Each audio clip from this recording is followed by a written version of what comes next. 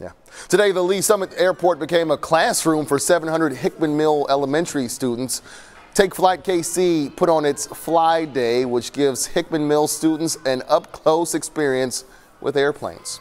41 Action News reporter Emma James tells us how it's the organization's way of just giving back to its community.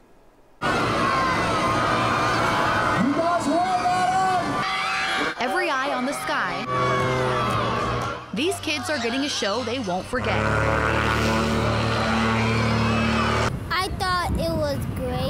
Hakeem Wilson is one of nearly 700 students sitting in a different type of classroom today. When you fly a plane, you have to use your hands and your feet. For Take Flight KC board president Austin Plain, it's a heartwarming sight. Just to look at the kids running around here so excited and their arms out like they're pilots, and it's just really cool. His nonprofit, Take Flight KC, supports kids and adults with disabilities throughout the year. The group puts on the day for Hickman Mills students as a way to give back.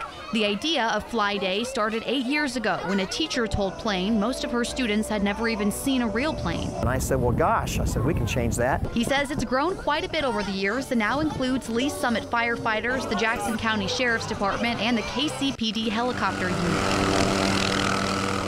Students get to watch an air show by the KC Flight Formation Team and see what the inside of a plane looks like for themselves.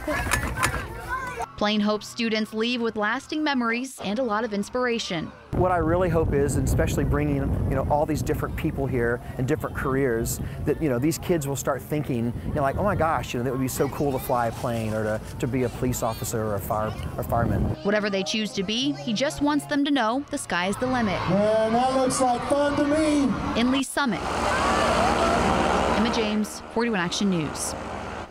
Thank you, Emma. This is an event he puts on every year. Next in line for takeoff, 41 Action News at 5. We'll see you in just a bit.